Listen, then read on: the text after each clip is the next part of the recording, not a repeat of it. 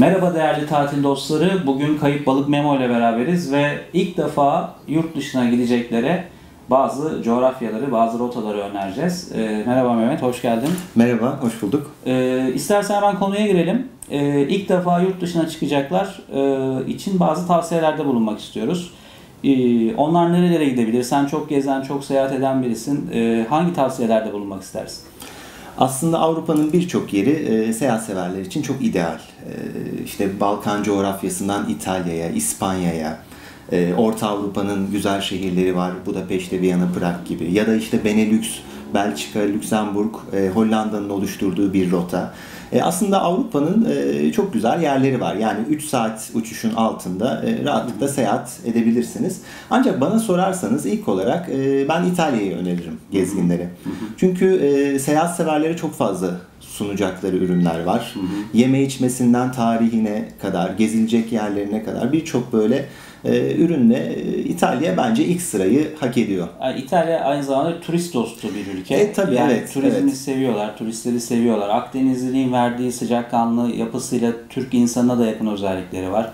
Mutfağı ve lezzetleri şaşırtmıyor. Kesinlikle öyle. Herkesin Kesinlikle. her an e, isteyebileceği güzel e, ürünleri var.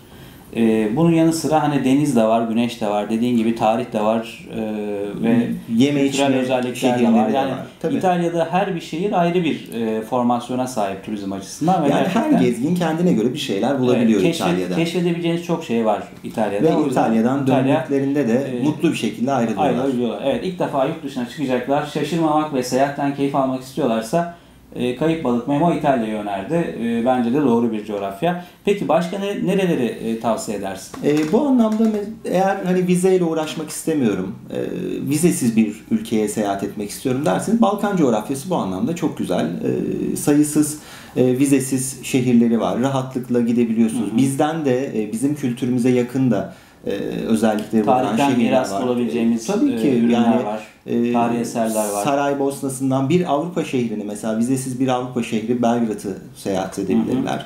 E, bu anlamda Balkan coğrafyası da e, seyahat severler için çok ideal. önerebileceğimiz yerler arasında.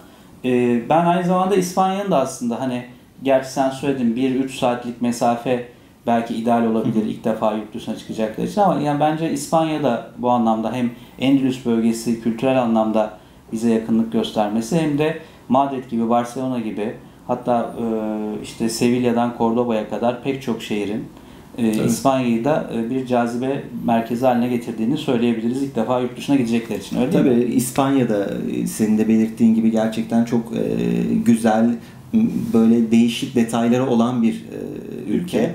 Memo'cum e, bir de tabii e, yurt dışına e, gitmek isteyen ama çok vakti olmayan e, hani hatta vize alacak vakti dahi olmayan insanlar olabilir ya da uğraşmak istemeyebilirler.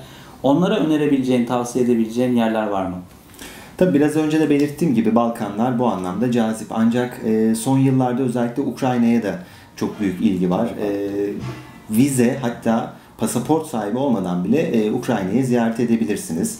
E, başkent Kiev'den Lviv'e, e, Odessa'ya kadar e, gerçekten hem tarihi hem eğlence hayatıyla e, ideal olan şehirlere sahip. Evet. Ukrayna'yı da bu anlamda gezginler listelerine alabilirler. Hatta Pronto Tur'un şehir kaçamakları paketiyle e, bir hafta sonu gidip e, tek bir şehri seçip e, görebilirler. Kimlik kartlarıyla gidebilirler. Tabii ki bu anlamda da e, iyi bir seçenek seyahat severler için. için. E, aynı zamanda Lübnan var galiba. Lübnan'da Ee, Beyrut. Lübnan'ın başkenti Beyrut. Beyrut, Bu anlamda Avrupa coğrafyasına da yakın. Yaklaşık bir buçuk saatlik e, uçuşla e, Beyrut'a gidebilirsiniz. E, hafta sonunuzu e, burada değerlendirebilirsiniz. Farklı kültürlere tanık olabilirsiniz. Bu çok e, güzel bir Hı hı. detay bence e, Be- e, Beyrut için. E, bunun dışında da e, dediğim gibi Ukrayna, Balkanlar, e, bu yakın coğrafyada Yakın coğrafya, e, yakın uçuş mesafesi ya da otobüste gidebileceğimiz yerler ilk defa yurt dışına çıkacak seyahat severlerin gidebileceği rotalar olarak Evet. duruyor. Peki biz özetlersek bugün Kayıp Balık Memo ile konuştuk ve ilk defa yurt dışına çıkacaklara bazı tavsiyelerde bulunduk.